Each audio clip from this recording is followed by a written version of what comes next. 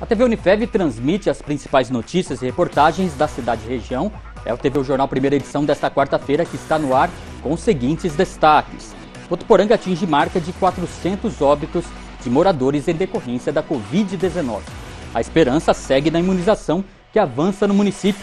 Pessoas com 38 anos já podem receber a vacina. Hoje haverá o plantão para aplicação de doses até às 8 horas da noite no Açari Clube. Vamos mostrar também que a Prefeitura ampliou a vacina contra a gripe para toda a população. Curso de Administração e Ciências Contábeis da Unifed abre inscrições para Congresso de Negócios 2021. E também Câmara realiza hoje sessão extraordinária para votação de seis projetos de lei. E se muito mais você vê agora no TV o Jornal.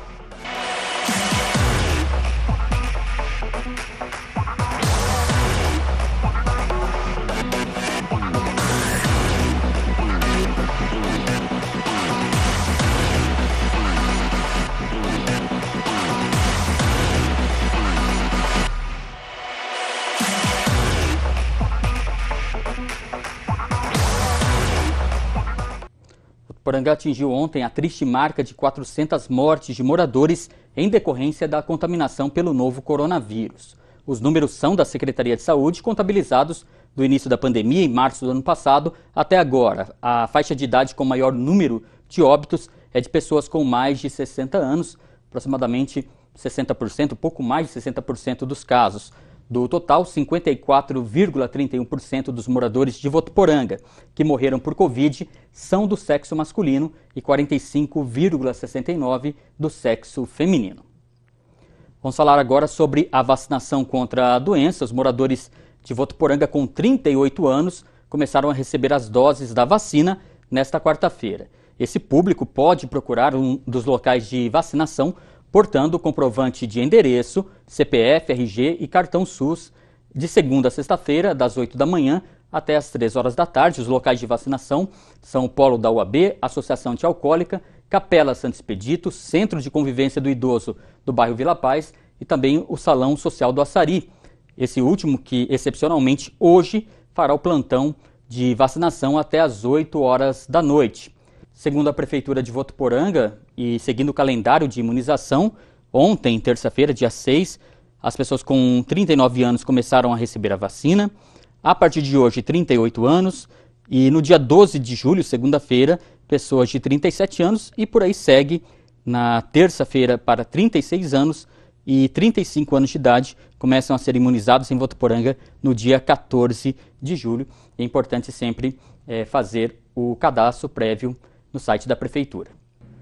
E ainda sobre saúde, todos os postos de vacinação de Votuporanga ampliaram a aplicação da vacina contra a gripe para toda a população. A vacinação será feita das 8 horas da manhã às 4 horas da tarde, enquanto houver doses.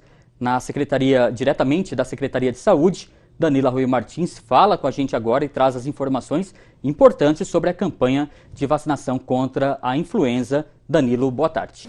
Boa tarde, Josiano. Boa tarde a todos que assistem o TV O Jornal.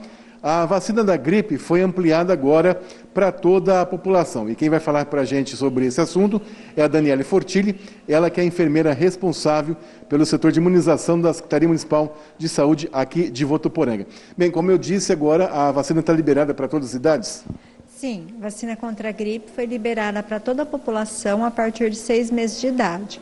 Continuemos a vacinar né, as crianças de seis meses a cinco anos, 11 meses e 29 dias, que ainda não tomou, que faz parte dos grupos prioritários, a gestante, a mulher que descobriu a gravidez agora ou que ainda não tomou, mulher que acabou de ganhar um bebezinho e não tomou a vacina da gripe nem na, na gestação, o trabalhador da saúde, todo trabalhador que trabalha em laboratórios, em farmácia, tanto da parte de atendimento, às vezes da limpeza, quanto outros profissionais da saúde, todos devem tomar a vacina. O cuidador do idoso, ele também entra na vacinação contra a gripe. Bem, de modo geral, o que a gente pôde observar é que a procura é, foi está sendo muito baixa. Aqui em Votuporanga isso também é uma realidade? Sim, é, a procura do, desses grupos solitários foi baixa, mas eu faço uma ressalva que, em relação a anos anteriores, a gente teve uma procura melhor por parte das crianças, né? Embora não tenhamos atingido a meta, que é de 90%, né, meta do Ministério da Saúde, mas a procura das crianças, né, dos pais levarem seus filhos foi um pouco melhor em comparação a, a anos anteriores. Qual que foi a meta atingida até o momento? Está em torno de 60% no geral, né? Nós temos a meta de 90%, mas a gente chama a população desses grupos. Quem ainda não tomou, pessoas que têm comorbidades, se vacinar. Se tomou a vacina da, da Covid recentemente, dá um intervalo de 14 dias e procura para tomar a vacina da, da influenza, que ela protege aí contra o H1N1, que é a gripe suína.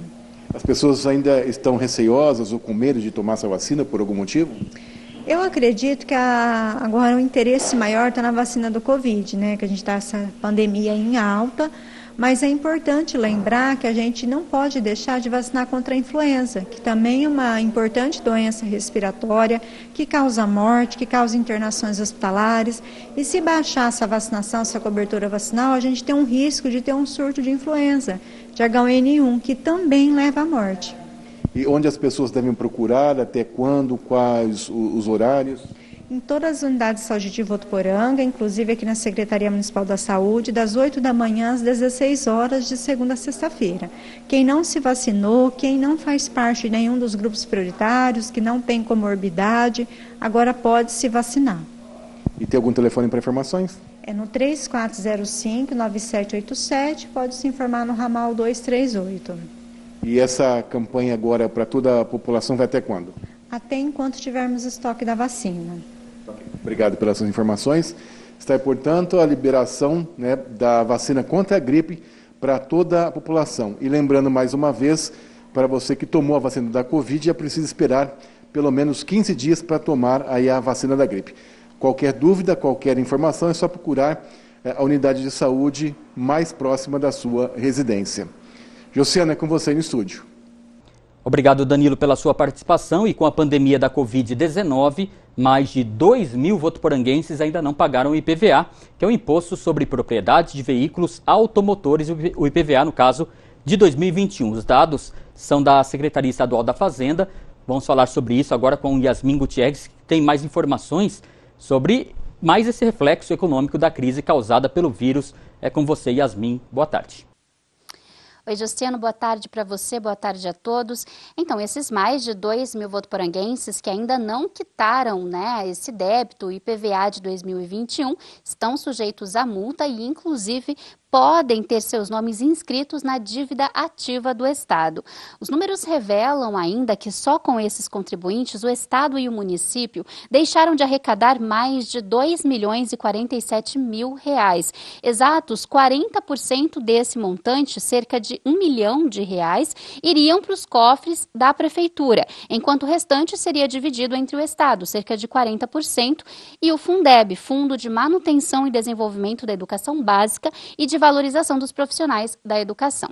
Além dos mais de 2 mil votoporanguenses, de acordo com a Diretoria de Arrecadação, Cobrança e Recuperação de, de Dívida, estão sendo notificados mais de 1 milhão 181 mil proprietários responsáveis aí, solidários que possuem débitos do IPVA de veículos de todos os finais de placa referentes ao exercício de 2021. Responsáveis solidários são, por exemplo, o banco em que o proprietário fez o financiamento do veículo. A Fazenda prevê, Josiano, arrecadar mais de um bilhão de reais com o IPVA 2021, que está em atraso. A notificação ocorre exclusivamente via diário oficial do Estado e traz a identificação do proprietário do veículo, o valor do imposto, da multa incidente dos juros por mora. Não vai haver notificação via correios ao domicílio tributário do proprietário. Proprietário de oceano que não quitar o débito ou apresentar defesa no prazo vai ter a inclusão de seu nome no CADIM estadual, que é o Cadastro Informativo de Créditos Não Quitados de Órgãos e Entidades Estaduais, e na dívida ativa do Estado de São Paulo, como eu disse anteriormente. No último caso, a administração do débito em dívida ativa é transferida à Procuradoria-Geral do Estado, que pode aí então iniciar o procedimento de execução judicial. Josiano, volto com você. Tá ok, obrigado Yasmin pelas informações. E a Câmara Municipal de Votuporanga reunirá vereadores para uma sessão extraordinária nesta quarta-feira, às 5 horas da tarde, no plenário Dr. Otávio Viscardi. Na pauta, seis projetos de lei estão previstos para debate e votação dos parlamentares. Entre as propostas será votado o texto de autoria do Poder Executivo, que integra medidas de retomada econômica e que propõe facilidades e isenção de impostos para empresas de até 200 funcionários que desejam se instalar no município. Na lei atual, os benefícios são apenas para empresas a partir de mil funcionários. Também será votada a autorização de convênio entre a Prefeitura e Governo do Estado para a construção de uma escola para 600 alunos no bairro Pacaembu a sessão começa então às 5 horas da tarde e será transmitida ao vivo pelas redes sociais e também pelo canal da Câmara de Votuporanga no YouTube. E a Secretaria da Administração da Prefeitura de Votuporanga alerta que segue até esta quarta-feira, dia 7, o prazo para inscrições do processo seletivo para a contratação de intérpretes de Libras. A estudante do curso de Publicidade e Propaganda aqui da Unifev e estagiária da Rádio TV Unifev, Bárbara Pádua, traz mais informações para a gente Boa tarde, Bárbara. Olá, olá a todos que estão assistindo. Os profissionais irão atuar nas escolas municipais, atendendo aos alunos que apresentam necessidades e também nas videoaulas do programa Educação Escolar e eventos realizados pela Secretaria da Educação. Para participar, os candidatos devem ter entre 18 e 75 anos e comprovar ensino superior completo com proficiência na tradução, interpretação de Libras, língua portuguesa, ou ensino superior completo em letras e Libras, ou até mesmo ensino superior completo de tradução e interpretação com habilitação em Libras e língua portuguesa. A organização, aplicação e correção do processo seletivo simplificado serão de responsabilidade da CONCESP, concursos, residências médicas, avaliações e pesquisas LTDA. As inscrições pela internet podem ser feitas no site da empresa organizadora do processo, a www.concesp.com.br, no valor de 35 reais. Volto com você no estúdio. Tá certo, obrigado pelas suas informações. E o TV o Jornal vai para um rápido intervalo. Já já você vai saber como será a edição 2021 do Congresso de Negócios dos cursos de Administração de Empresas e Ciências Contábeis da Unifeb. O comércio abre no sábado até 6 horas da tarde. Também a previsão do tempo para o meio de semana em Votuporanga e na nossa região é daqui a pouquinho no TV o Jornal.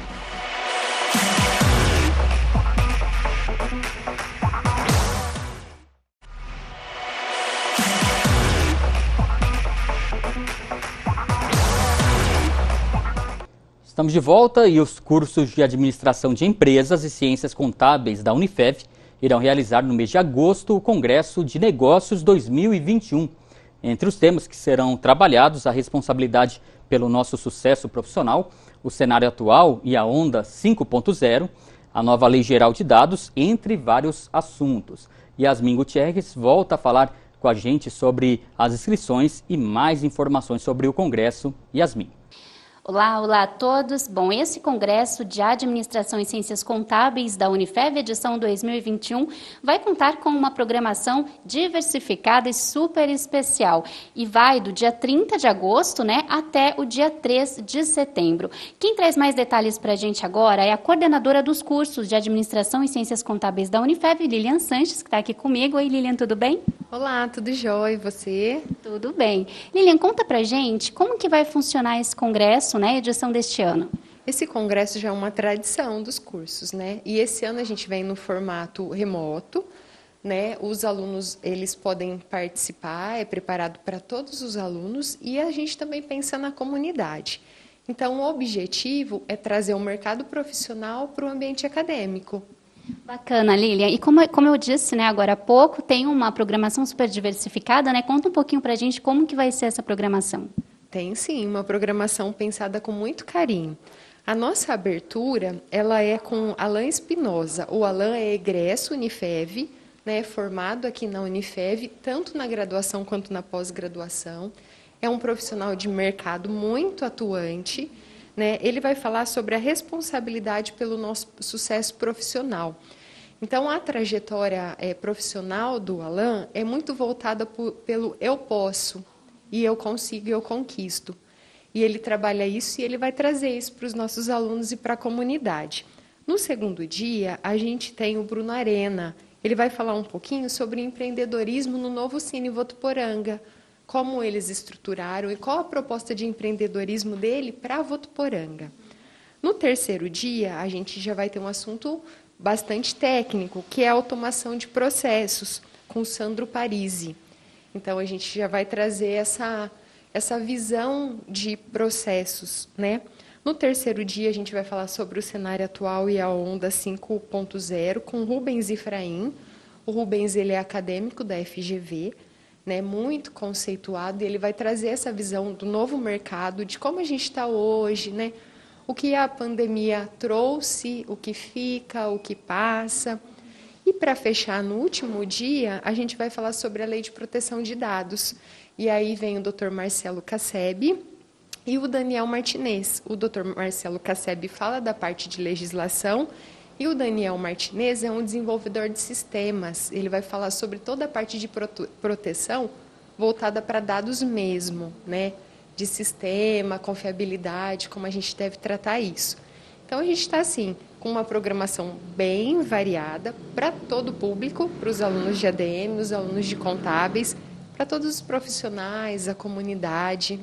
Sim, assuntos bem interessantes, né? E Lilian, como que as pessoas que tiverem interesse podem participar desse congresso? Isso, a inscrição do congresso, ela é no portal, né, pelo site da Unifev, e ela pode ser feita também é, direto. Os alunos conseguem fazer via portal e a comunidade unifev.edu.br barra Congresso de Negócios 2021. As inscrições já estão abertas, não tem custo. O evento ele vai ser todo remoto, né, pela plataforma Teams, das 19 horas, 19h15 até as 23 horas. E as inscrições elas estão abertas para todos. Perfeito, muito obrigada Lilian, viu, pelas informações. Então tá aí o convite para participar desse congresso com uma programação super variada aí, né, que ela acabou de explicar, super especial. Lembrando que essa programação vai do dia 30 de agosto até o dia 3 de setembro. Volto com você. É isso aí, obrigado Yasmin pelas informações. E no próximo sábado, dia 10 de julho, o comércio de Votuporanga estará atendendo em horário especial, das 9 horas da manhã às 6 horas da tarde. Como é de costume, o segundo sábado do mês é reservado para esse atendimento com o horário prolongado, mas medidas de distanciamento social e higienização precisam ser cumpridas. Segundo o decreto municipal, em vigor na cidade desde a última segunda-feira, o comércio pode funcionar desde que estabelecimentos tenham limitado a 40% a sua capacidade. E também que façam a aferição da temperatura na porta, disponibilizem o álcool gel 70% e também que haja o distanciamento de pelo menos 2 metros entre clientes, inclusive nas filas do lado de fora. Isso tem que ser respeitado. E atenção você, produtor rural, termina hoje o prazo para declarar a vacinação de todos os bovinos e bubalinos vacinados contra a febre aftosa durante a primeira etapa da campanha de vacinação realizada no estado de São Paulo. A etapa foi encerrada no dia 30 de junho de 2021. Júlia Domênices participa do TV o Jornal e traz todas as recomendações sobre essa declaração. Boa tarde. A declaração da vacinação deve ser realizada de preferência pela internet no gedave.sp.gov.br. Quando não for possível, o produtor poderá encaminhá-la por e-mail e, em último caso, deverá entrar em contato com as regionais através de telefones e endereços eletrônicos disponíveis no site da Coordenadoria de Defesa Agropecuária, que é defesa.agricultura.sp.gov.br para realizar o procedimento por meio presencial através de agendamento prévio. Além dos bovídeos que foram vacinados, é preciso declarar todos os animais da propriedade, como por exemplo, equídeos, suídeos, aves, ovinos e caprinos deixar de vacinar e de comunicar a vacinação sujeita o produtor a multas de 5 FESPs, que equivale a R$ 145,45 por cabeça, por deixar de vacinar. E 3 UFESPs, que é igual a R$ 87,27 por cabeça, por deixar de comunicar. O valor de cada FESPES, unidade fiscal, do Estado de São Paulo é de R$ 29,09. Eu volto com você. Obrigado, Júlia, pelas informações. E chegou a hora da previsão do tempo para esse meio de semana. De acordo com o portal Clima Tempo, a quarta-feira é de sol, muito sol, aliás, e poucas nuvens sem condições para chuva por conta de um predomínio de massa de ar seco, né? essa massa de ar que está sobre o interior do país. As temperaturas, então, na região, em Cardoso, temos hoje a máxima de 30 e a mínima de 13 graus, com umidade do ar em 61%. Em Andeara, a máxima de 28 graus e a mínima de 12 graus, com umidade em 69%. Já em Meridiano, a temperatura é de 29 graus, a máxima, e a mínima de 12 graus, umidade em 66%. Já em Votuporanga, os termômetros marcam a máxima de 30 graus e a mínima de 12 graus nesta quarta. No momento, a temperatura é de 21 graus, também com a sensação térmica de 21. A temperatura máxima de 30 graus será atingida hoje em Votuporanga por volta das 4 horas da tarde e a umidade relativa do ar fica em torno de 66%. Lembrando que as informações são do portal Climatempo. A Prefeitura de Votuporanga e também prefeituras de outros 11 municípios fizeram uma parceria com o supermercado aqui da cidade para uma promoção que visa a arrecadação de alimentos. A ação começou no último sábado, segue até o dia 29 de janeiro. Sobre isso, Stephanie Barbara fala com a gente e traz todas as informações. Stephanie, boa tarde. Boa tarde, Josiano. Boa tarde a todos que acompanham a programação da TV Unifev. Essa campanha tem como meta arrecadar 500 mil reais em produtos e consiste né, na doação de alimentos ao Fundo Social de Solidariedade de cada cidade que tem uma unidade do Proença. Na tarde da última segunda-feira, o prefeito Jorge Seba, acompanhado da presidente do Fundo Social de Solidariedade, Rose Seba, esteve na unidade aqui de Votuporanga para conhecer de perto como esse projeto funciona.